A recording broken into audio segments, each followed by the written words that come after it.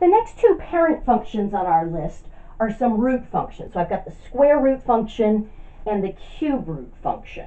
Now for both of these, I gave you a table of values on the homework prep for section 1.6, which I hope you've completed. But I'm going to spend a little bit more time on these. I haven't put the table of values up on the board already because I wanted to talk through a little bit about my strategy for creating the table of values. I said with the past two examples that usually, unless I have a good reason for doing otherwise, I like to plug in a couple of negatives, zero, and a couple of positives. Well, here I have a good reason for not doing that because I can't plug in a negative number. So I'm definitely going to want to plug in zero because that's the smallest that x could be, and the square root of zero is just zero. So I can go ahead and plot that point. The origin is going to be on this graph. But then I'm only going to plug in positive numbers here because I can't take the square root of a negative. So I'll plug in 1, and the square root of 1 is just 1, so I can plot the point 1, 1. Now for a lot of functions, the next number that I'd plug in would be 2. But I don't want to evaluate the square root of 2 because that doesn't work out nicely. So I'm going to strategize a little bit.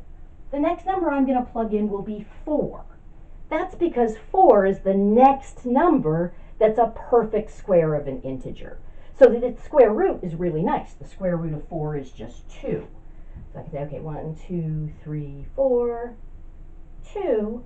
That gives me this point over here. Okay. And then I'm not going to go to 5 or 6 or 7 or 8 or 9. I like. 9 is just 3 squared, so the square root of 9 is 3. Now I'm sort of running out of space here. That point would be way over here. But I can see if I connect the dots, I've got something that's going up and to the right, but it's getting less steep as we go.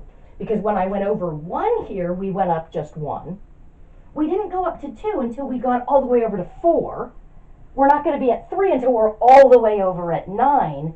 So each time I go up one, I'm going over a little bit more, and so it's getting less steep as we go.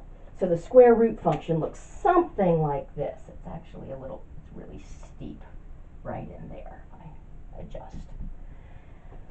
Okay, excellent. Now for the cube root function, since that's an odd root, I can take odd roots of negative numbers. So I am going to go with my pattern of doing a couple of negatives and then zero and then a couple of positives. But again, I want to make sure that I'm picking things that it's easy to take the cube root of. I'm going to start with zero and the positives and then I'll fill, go back and fill in a couple of negative choices. Cube root of zero is just zero. So the origin, once again, is going to be on this graph. Now, 1 works out nicely because the cube root of 1 is just 1, so I can plot that point 1, 1. Cube root of 2 is an irrational number. It doesn't work out nicely. The decimal expression of that just goes on forever and ever and ever without repeating a pattern. So I want to go to the next perfect cube, which would actually be 8. 8 is 2 cubed, so the cube root of 8 will be 2. I'm going to need to use a different scale here if I'm going to make this fit. So let's see, if here's 0, 0, I'll use very small tick marks. 1, 2, 3, 4, 5, 6, 7, 8, 1, 2. So there's 1, 1, there's 8, 2.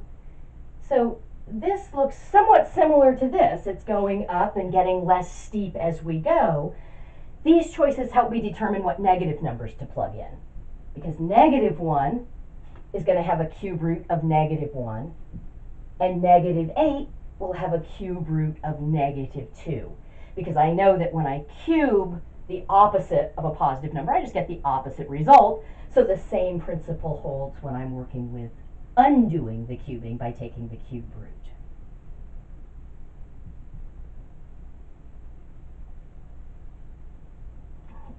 So here, we've got essentially, it's, it's almost like this is just flipped over and then flipped over again. So instead of going um, up and to the right, becoming less steep, if I think of sort of drawing it backwards, we're going down and left, getting less steep. Okay, excellent. So those are our square root and our cube root functions. Um, and then we've got two more to take a look at, which we'll do in the next video.